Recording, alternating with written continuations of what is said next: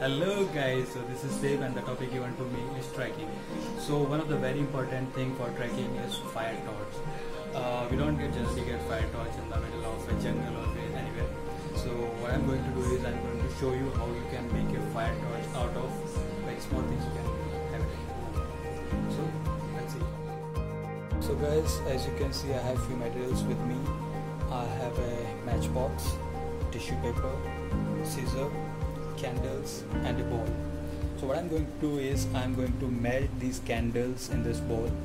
I'm going to dip these tissue papers in the melted wax and then I'm going to roll that tissue paper on this matchstick. So let's see how the magic happens.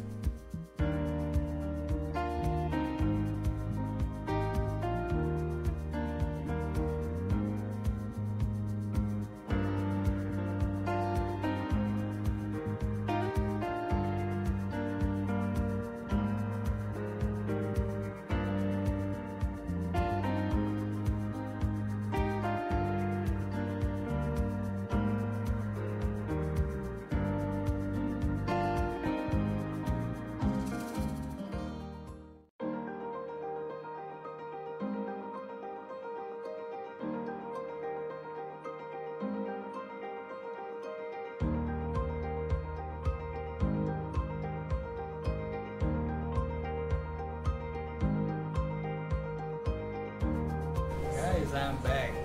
So look at this fire stick and uh, I have both the tissue paper with bags here. Now I'm going to show you what this is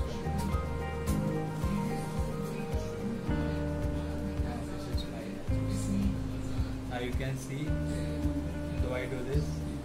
The flame is not going. This is going to burn for more than your regular matchstick. What do you think about it it yourself.